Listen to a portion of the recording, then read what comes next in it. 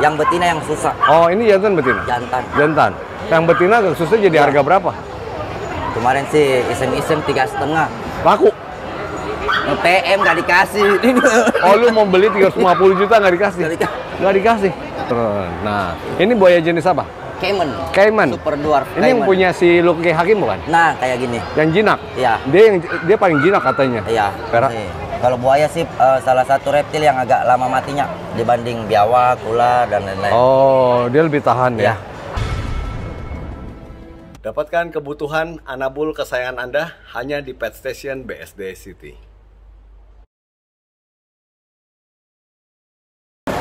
Hai pecinta satu Indonesia kembali di channel Bobby untuk seksi dunia satwa kita. Gue lagi ada di Makassar di acara Pet Paradise Benisi Point Mall. Lagi bersa di standnya Padale Reptile. Padale Reptile. Ada le hunter. Padale Hunter ya sudah bersama dengan Dede Tato pawang reptil semak paling top se Sulawesi. Su- Sulawesi. Ya. Wih di top. Jadi ini pawang reptil se Sulawesi. Ya sekarang gue pengen pengen ngobrol tentang buaya. Buaya. Fenomena pemeliharaan buaya di Indonesia. Apakah buaya itu cocok untuk jadi pet? Cocok sih. Nah, lu kata lu kan pawang reptil ya. Iya. Sekarang oke, alasannya apa? Keluarin dong, keluarin dong. Yang mana nih?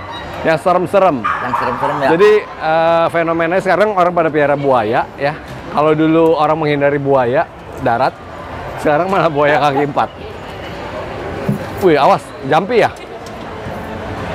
Iya, jampe doang. Eh, turun, turun, turun, turun. Nah, ini buaya jenis apa? Cayman. Cayman. Super dwarf. Ini yang Cayman. punya si Luki Hakim bukan? Nah, kayak gini. Yang jinak. Iya. Dia yang dia paling jinak katanya. Iya. Nah, kalau ini jinak nggak? Inap. Nggak boleh pegang dari depan ya? Jangan kalau ini ya.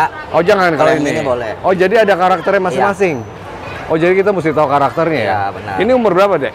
Kurang lebih setahun Setahunan? setengah. Iya. Eh, eh, bagusnya dipiara dari umur berapa? Dari kecil sih macam baby gitu. Itu, itu baby. Iya. Oh, itu baby umur, umur berapa ya? Baru berapa empat bulan ke tiga bulan? Empat bulan, tiga bulan. Tapi kalau segini masih boleh dipiara.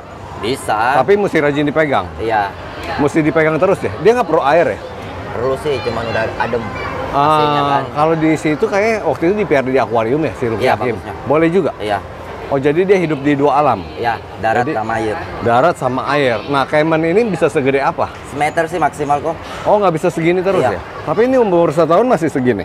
Iya, ini baru 60 cm. 60 cm. Dikit lagi sih maksimalnya. Oh, ini 60 cm kayak begini, semeter jadi berarti nggak terlalu besar ya? Iya. Ini Cayman ini buaya terkecil bukan? Terkecil di dunia. Di dunia terkecil. Iya, super dwarf Cayman. Oh, nah makanannya apa ini? Kalau kami kasih makan ikan lele, Hah? ikan emas, sama salmon. Berapa lama sekali? Sehari sekali. Bukannya buaya bisa seminggu sekali? Iya, cuman kita porsinya kecil.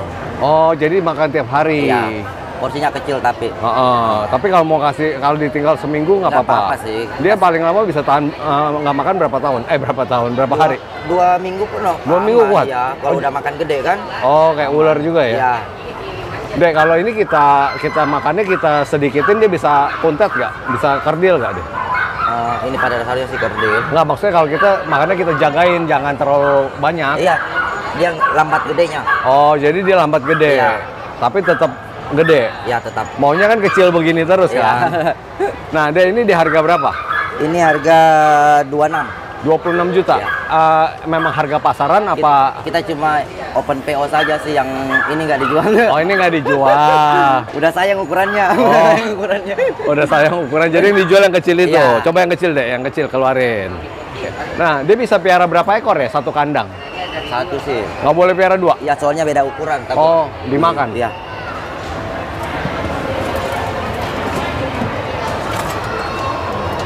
Ini tapi aman ya. Ini aman. Kalau sinyulang nggak boleh deh. Iya appendix. Appendix ya? Dulu ya, appendixnya sejak tahun berapa ya deh? Dulu gua eh, adek gua pernah piara eh, sekitar tahun 2 Kayaknya masih appendix sampai 2000 ya. Kita nggak tahu kita beli, tapi Iya. akhirnya serain ke itu ke mana? Ini aman Oh. sih. Ocean Ocean water water apa sih di Ancol itu? Nah kalau ini aman, ini import. Ini ternakan import apa? Impor semua. Oh, nggak ada permen atau apa yang melarang dia diimport atau dijual? Kurang update sih kalau ini. nah itu yang kita mesti takut ya. Ini jadi ini ini kalau segini eh, apa gampang hidup gak sih? Gampang sih. Kalau buaya sih eh, salah satu reptil yang agak lama matinya dibanding biawak, ular dan lain-lain. Oh, dia lebih tahan ya. Iya. Oke, nah, jadi kalau mau piara dari umur segini, Ya lebih aman. ini sih, dari biar- depan nggak apa-apa biar nih? diapain ini? ini nggak dia apa-apa. apa-apain nggak apa-apa? Iya. Tapi kalau kegigit paling kayak kena cutter gitu ya? Iya, ay, parah mah parah. parah. Nggak, ini tajam lo giginya loh. iya. Ya. Nah, lu kan taruhnya kan seharian nggak pakai nggak pakai apa air, Air. pakai lampu kan? Pakai lampu. Nggak apa-apa itu ya? Ya. Ntar kita paling siram-siram. Oh, di spray spray Iya. gitu. Kasih makan cuma sehari sekali atau kalau mau kasih makan seminggu sekali Kalau boleh. Buat kontes eh, kontes expo gini kita Hah? kasih makannya nanti selesai acara. Oh, oke. Nah, kaiman cuma satu jenis. Lalu jantan betinanya bisa bedainnya di mana? Untuk kalau ukuran Cayman sih aku belum ngupdate jenis kelamin. Nggak bisa. Oh, Iya. nggak, oh, nggak, ketahuan di mananya Iya. ya. Mungkin netizen bisa cari bisa Iya, kasih cari tahu tahu ya. sendiri. Di komentar ya gimana cari tahu eh, jenis kelamin buaya ya. Karena kita pengen tahu nih eh, bagus dipiara jantan apa eh, betina. Kayaknya betina.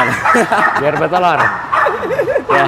Nah, deh selain buaya, di sini gue lihat ada saat ada yang mewah banget nih, expander dikandangin. Hai. Ya, ini expander dikandangin nih.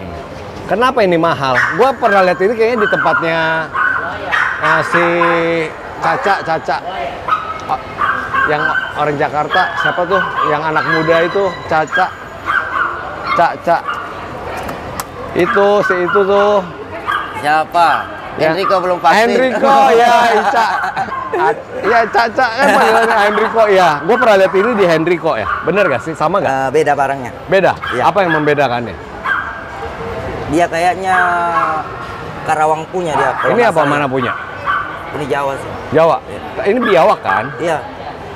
Far, nama ininya Varanus Varanus Salvator albino. Emang jarang albino begini? Eh, buat jantan sih agak banyak. Yang betina yang susah. Oh ini jantan betina? Jantan. Jantan. Yang betina agak susah jadi Iya. harga berapa? Kemarin sih iseng-iseng tiga setengah. Laku. PM nggak dikasih.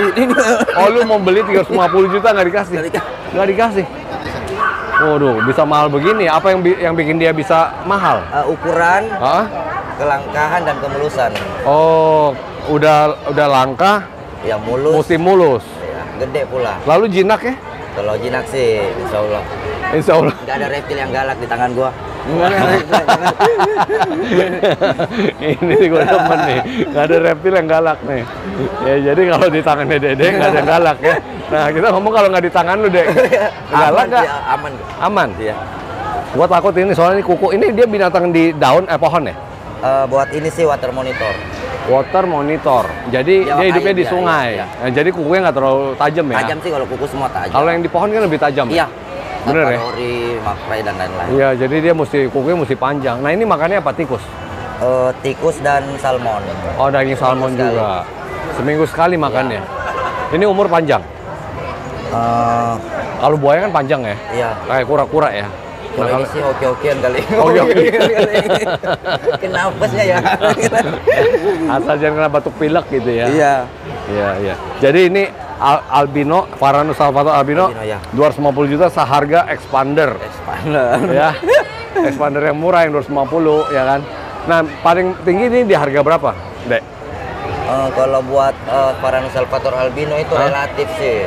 Apa? Relatif harganya iya. Ah, Kalau betina mah mau 500 juta pun Kenapa? kita butuh- Karena pabrik ya? iya. Pabrik. Pabrik cuan. Pabrik. cuan. pabrik cuan. Tapi bener gak sih ada pasarnya ini? Ada sih. Bule-bule pada Bule? mulu ya. Oh, jadi pasarnya ke luar negeri? Iya. Oh. Gimana berak dia? Kalau di Indonesia gimana? Kalau kalau gue yang gue tahu kan banyak yang piara yang murah kan, yang istilahnya yang buat- biasa kan. Buat di Indonesia yang ber- berhasil breed albino cuman di Bali. Bali. Iya. Oh. Susah ya ngebreednya ya. Jadi Bisa memang. dapat betina gedenya. Oh. ini udah ukuran gede. Ini masih semeteran. Cari yang 120, 150 cm. Maksimal 150. Iya. 2 meter ada gak deh? Kayaknya belum ada deh. Belum ada ya? Kalau albino eh, belum ada. Tapi kalau albino gini matanya dia nggak awas ya? Maksudnya Matanya kurang respon ya. Kurang respon Iya. ya, benar ya. Sama berarti ya. Kalau corak-coraknya sama semuanya. Eh, tergantung lokality lagi. Oh, oke. Jadi masih tergantung lokalitinya Iya.